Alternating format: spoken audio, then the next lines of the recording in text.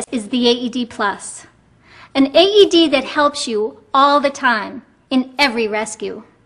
But don't most AEDs help all the time? Actually, most don't. At best, they only help about half the time. Does that mean that half the time when you push the shock button on another AED, it won't deliver a shock? No. Other AEDs can shock just fine, and Shock so can the AED Plus. patient. Press flashing shock button.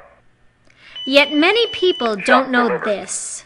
Research shows that when an AED is attached to a victim of cardiac arrest, it will advise a shock only half the time. Once your AED says, no shock advised, only CPR can save the victim. At that point, you have to ask, will my AED support my CPR by guiding my rate and depth?